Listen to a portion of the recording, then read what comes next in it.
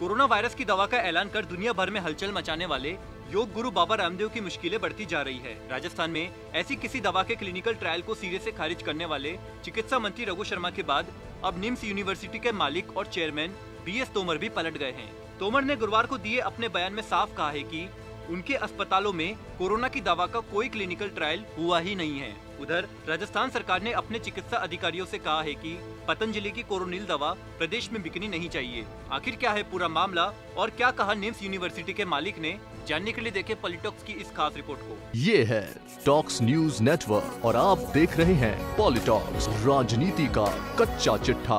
बुधवार को कोरोनील की लॉन्चिंग में बाबा रामदेव के साथ मंच सादा करने वाले बी एस तोमर ने बाबा रामदेव को झूठा बताते हुए अपने बयान में कहा है कि बाबा रामदेव जिस दवा का निम्स के अस्पताल में क्लिनिकल ट्रायल का दावा कर रहे हैं, वहाँ ऐसा कुछ नहीं हुआ। बाबा रामदेव ने गलत बयान दिया है। तोमर ने कहा कि हमने इम्यूनिटी बूस्टर के रूप में अश्वगंधा, गिलोय व तुलसी का प्रयोग किया है।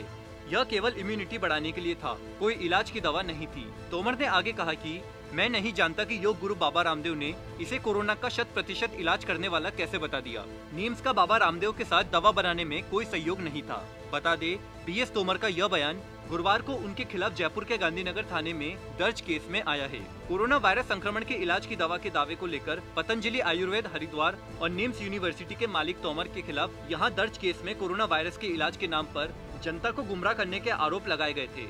इससे पहले राजस्थान के चिकित्सा मंत्री रघु शर्मा कोरोना की दवा के नाम पर लोगों को गुमराह करने की बात कहते हुए बाबा रामदेव के खिलाफ कानूनी कार्रवाई की बात भी कह चुके हैं। इस पूरे मामले में हैरत की बात यह है कि 20 मई को निम्स विश्वविद्यालय ने सीटीआरआई से औषधियों के इम्यूनिटी टेस्टिंग के लिए इजाज़त ली थी।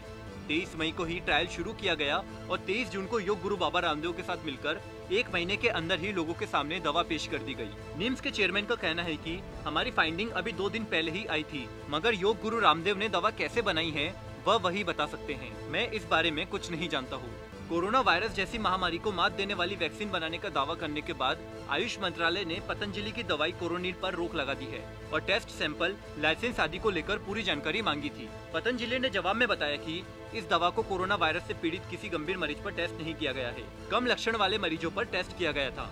आयुष मंत्रालय ने पतंजलि की ओर से दाखिल रिसर्च पेपर के अनुसार कोरोनिल का क्लिनिकल टेस्ट 120 ऐसे मरीजों पर किया गया है, जिनमें कोरोना वायरस के लक्षण काफ़ी कम थे। इन मरीजों की उम्र 15 से 80 साल के बीच थी और इसमें पुरुष तथा महिला दोनों वर्ग के लोग शामिल किए गए थे। ट्रायल के दौरान इन सभी को इसके बारे में बताया गया था और उनकी सहमति ली गई थी। इसके पूरे ट्रायल में दो महीने का वक्त लगा। ज़ाहिर है, कोरोना का शत प्रतिशत इलाज करने वाली दवा, कोरोनील के दावे को लेकर पतंजलि की मुश्किलें बढ़ गई है।